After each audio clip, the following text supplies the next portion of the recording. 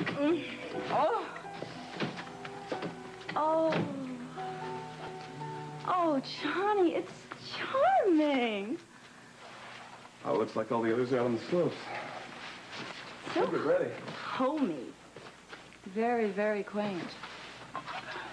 Look, I'm in Trolla. I can't believe it.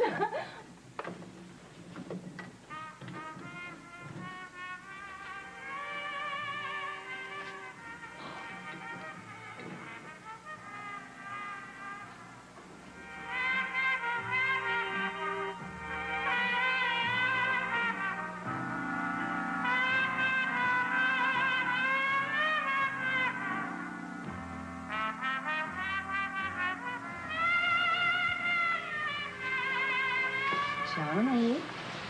Come on. I want you to sit right down here. No one else is here, so we might as well take advantage and enjoy this wonderful fire.